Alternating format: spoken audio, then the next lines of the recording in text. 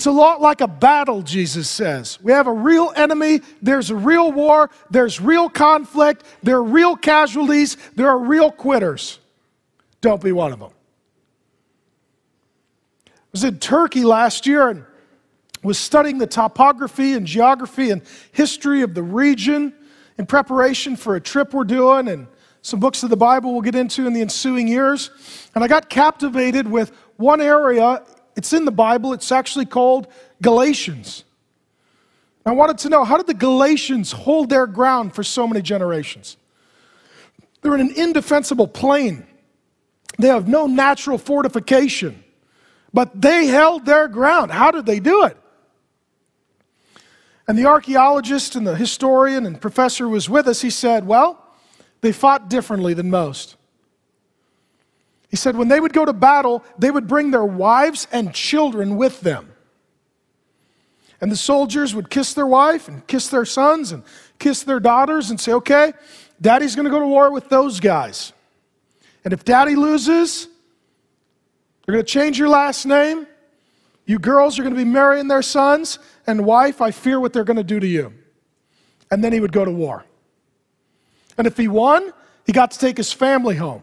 And if he lost, somebody else took his family home and did whatever they wanted. And those guys didn't lose a battle for hundreds of years. Because you fight differently when you fight for someone you love and a kingdom you belong to. You just fight differently. And our, our stupid replacement of this is really video games. And I was thinking about it today, since I'm in that mood. Video games are not sinful, they're just stupid. and they're stupid in this way. They're young, particularly men, and now women are joining it. They want to get on a team, be part of a kingdom, conquer a foe, and win a great epic battle. So they do it with their thumbs. And it doesn't even count. Nobody's really liberated. The Taliban is not really conquered. Women are not really freed from oppression. Generations are not really changed. It's all fake. It doesn't count. You want to do something? Get off the couch, unplug the electronics, give your life to Jesus, find some other guys, and do something that actually matters.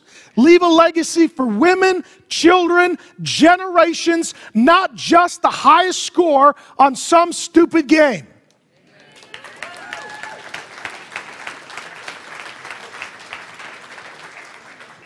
Now, it's amazing. A whole world filled with guys who want to be on a team, go to a war, defeat an enemy, and save a princess. That's the story of this book. And if you want to be part of that kingdom, you got to get off the couch and follow that king. And you do not quit. You fight differently when you fight for ones you love, a kingdom, and a king. Some great battle leaders, they would historically have their men row to the shore of a place they wanted to investigate and conquer, and then the good generals would light the boats on fire. There's two options, men forward or death. That has to be the attitude that we have. That has to be the attitude we have. Because the default mode of the human heart is selfishness, laziness, quitting. And some of you are here and you've already quit. Don't. And some of you would want to say you're a Christian and not see it through to completion.